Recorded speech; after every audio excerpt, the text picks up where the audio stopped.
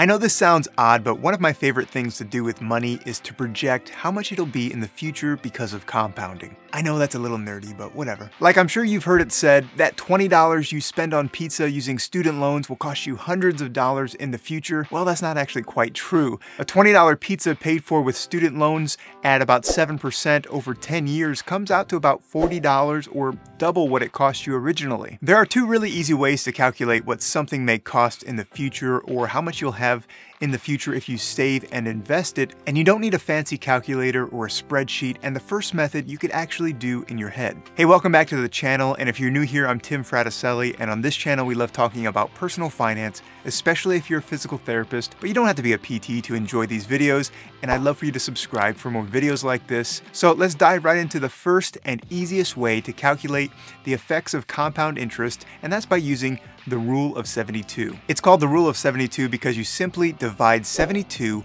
by whatever interest rate you're using, which gives you a really close estimate on the number of years that it will take for your money to double. Actually, let's look back at the pizza example. We bought the pizza for $20 and the interest rate on our student loan is 7% for example, so Take 72 and divide it by 7 and you'll get just over 10 years until that original $20 will double because of the interest and the compounding effect. But what if you want to see how much money you'll have in 20 or 30 years if you invest it and just let it grow? This is where you simply need a basic calculator like the one that you have on your phone. And the only thing that we need to know is how much interest we expect to earn on average each year. So if we expect the stock market, for example, to return an average of 8% annually, how much will $1,000 grow in the next 20 years? The quickest way to figure out the value of something in the future while taking into consideration the effects of compound interest is to simply add 1 to your interest rate, so 8% becomes 1.08, and you use that number to multiply by itself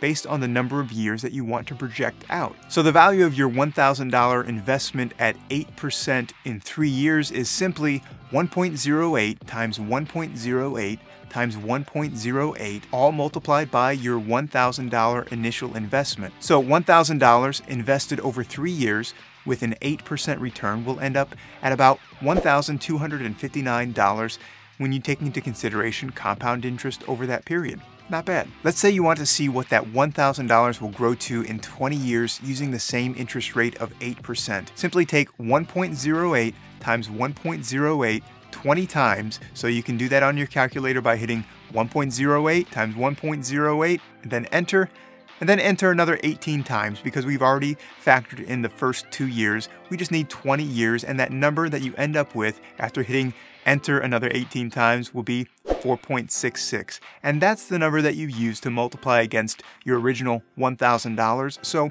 $1,000 turns into $4,660 in 20 years if you earn an average of 8% a year. Now you can also take 1.08 and raise it to the 20th power, and you can do this on a simple calculator on your phone by turning it sideways and typing 1.08, the XY key, type 20, then hit enter, and you'll get the same factor of 4.66. The XY key simply raises the 1.08 to whatever number that you want it to be raised to and, and you can use that for 15 years, 20 years, 30 years and you can change your interest rate very quickly uh, using this simple calculation. Now why would anybody want to do this? What's the point of doing a quick calculation to figure out what the value of something is in 10, 20 or 30 years down the road? Well for me I think it's kind of fun because I'm a money nerd but also it is motivating to see how much money if you invest today could grow into something significant in the future. Even if it's as little as $100, we know that it can be worth almost five times that in the future in 20 years based on our quick compound interest projection using an 8% return on your investment. So remember the rule of 72, which is 72 divided by your interest rate to see how long it will take for you to double your money and then use this quick compound interest method of 1 plus your interest rate multiplied by itself based on the number of years that you want to project out to, to in order to figure out how much your money could be worth in the future based on your estimated interest rate. Hey, thanks for watching this video. If you found it to be helpful, I'd love for you to give it a like below. Also, be sure to subscribe to the channel because we give out new videos like this each week. Thanks for watching, and we'll see you soon.